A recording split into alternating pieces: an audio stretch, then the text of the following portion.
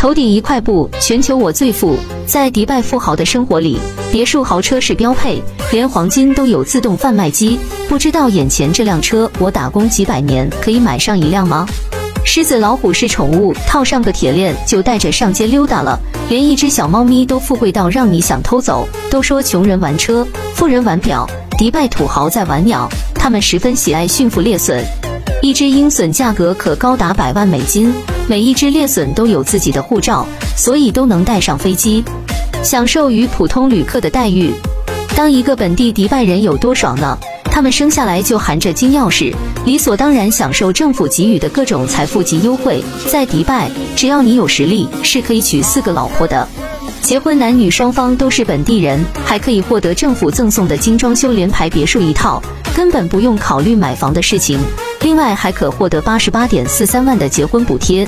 生个孩子就赠孩子一千五百平米的土地和别墅，任何公司都必须有一半股权归本地人。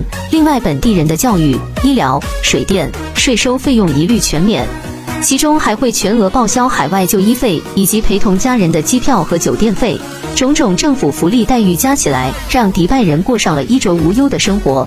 迪拜在很多人眼里，它是一个国家，但是其实迪拜只是整个阿联酋酋长国的一个城市而已。用我们中国的话来解释，就是中国与上海市的感觉。这样的迪拜，你想去吗？关注我，了解更多旅行趣事。